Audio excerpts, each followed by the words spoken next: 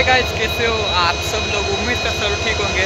मैं अभी हूँ रेलवे स्टेशन, आप मेरे पीछे देख सकते हो कि यशवंतपुर सुपर फास्ट एक्सप्रेस, अभी प्लेटफॉर्म नंबर एक पे है, इसका डिपार्चर है एक बज के चालीस मिनट और मैं अभी रेलवे स्टेशन। आप लोकोमोटो देख लो कैसा है।